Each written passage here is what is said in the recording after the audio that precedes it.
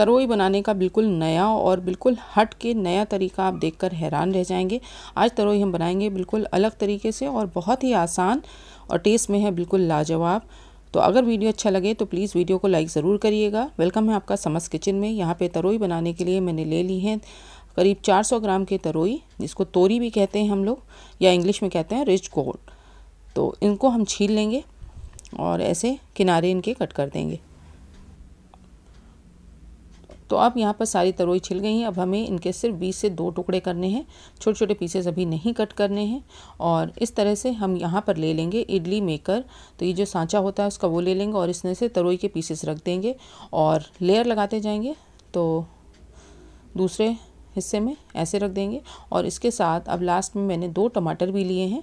ताकि टमाटर भी हमारे स्टीम हो जाएँ और ये तरोई का एक टुकड़ा बचा था, उसको भी लगा दिया। तो स्टीम बनाने के लिए यहाँ पे मैंने एक बड़ा पतीला लिया है, उसमें डेढ़ गिलास पानी डाला और तेज़ आँच कर दी है और यहाँ पर मैंने ये स्टैंड रख दिया जिसमें हमने तरोई और टमाटर लगा के रखे हैं और ढक्कन को लगा देंगे और करीब 10 मिनट तक इसको मीडियम आँच पर पकाएँगे और ये जो होल है उसको भी बंद कर देंगे ताकि हमारी स्टीम बाहर ना जाए और अच्छी तरह से ये अंदर स्टीम में कुक हो जाए। तो अभी ये पक रहा है, दस मिनट हो गए हैं और ये मैंने ढक्कन खोला। चेक कर लेते हैं, हमारी तरोई कि नहीं गली, अच्छी तरह से सॉफ्ट हो गई है और अब हम इसको निकाल लेते हैं। तो अगर आपका टाइम लगे तरोई गलने में तो थोड़ा सा और आप पका सकते हैं। तो यहाँ पर इसको थोड़ा ठंडा कर लेंगे ताकि हमारे हाथ ना जलें और ठंडा करने के बाद हम इनके सब्जियों को, यानी कि पहले तो टमाटर के हम छिलके निकाल लेंगे। तो बहुत आसानी से निकल गया ये देखिए। ठंडा हो जाने के बाद ही करें, क्योंकि गर्म में करेंगे तो हाथ जलेगा। और बस इसको भी ऐसे रफली चॉप कर लेना है हमको। और इसी तरह से तरोई को भी रफली चॉप कर लेंगे। बिल्कुल सॉफ्ट हो गई है और बहुत आसानी से पक जाने वाली हैं। बहुत ही लाजवाब टेस्ट है इस सब्ज़ी का, ज़रूर ट्राई करिएगा।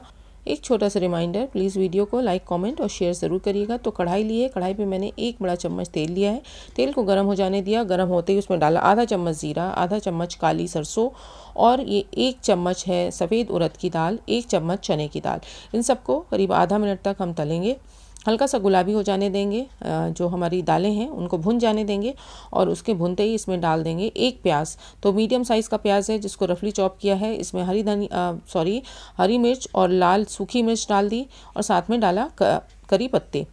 तो छः सात करी पत्ते हैं और अब इनको गुलाबी होने तक हमें तलना है। प्याज को बहुत ज़्यादा फ्राई नहीं करना है। तो यहाँ पर अब ये जो हमने सब्ज़ियाँ चॉप करके रखी थी, स्टीम्ड वेजिटेबल, उसको डाल देंगे और आँच को अभी धीमा रखेंगे और इसको थोड़ी देर ऐसे भूनेंगे। और इसमें डाल देते हैं मसाले। मसाले में आधा छोटा चम्मच हल्दी, थोड़ा सा लाल मिर्च कुटी हुई और इसके साथ है इसमें नमक। और अब बस इसको चला करके ही पकाएँगे क्योंकि हमारी सब्ज़ियाँ ऑलरेडी स्टीम में बहुत अच्छी तरह से पक चुकी हैं, गल चुकी हैं। अब इसको हमें मैश करके और मिक्स करना है ताकि ये एक से हो जाए बिल्कुल।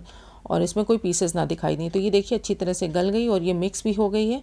तो अब हम क्या करेंगे थोड़ी सी धनिया डाल करके इसको एक मिनट तक इसके साथ पकाएँगे ताकि धनिया का भी फ्लेवर आ जाए इसमें और मिक्स कर देंगे। धीमी आँच ही रखेंगे, क्योंकि सब्जियों में काफ़ी सारा पानी था, इसलिए कोई एक्स्ट्रा पानी डालने की आपको ज़रूरत नहीं है। और बहुत झटपट, आसान सी सब्ज़ी है, ज़रूर ट्राई करिएगा यूनिक रेसिपी है। अब गैस को बंद कर देंगे और थोड़ी देर इसको ठंडा करेंगे। तो अब थोड़ा सा ट्विस्ट बाकी है, इसमें डाल देंगे हम दही। तो ये दो बड़े चम्मच मैंने दही लिया है। तो तरुई को ठंडा होने के बाद ही इसमें मिलाएँगे और अच्छी तरह से इसको मिक्स कर दें। तो ये दही डालने इसका टेस्ट बिल्कुल अलग हो जाता है, बहुत ही अच्छा लगता है। गर्मियों के लिए तो ये ख़ास सब्ज़ी है। धनिया से सजा देंगे और बस रोटी, पराठे या चावल किसी के साथ भी खाएँ।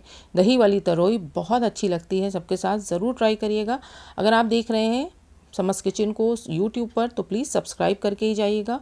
और आप देख रहे हैं फेसबुक पर तो फॉलो करिए। इंस्टाग्राम पर भी फॉलो करिए। Keep watching समस kitchen. Thank you so much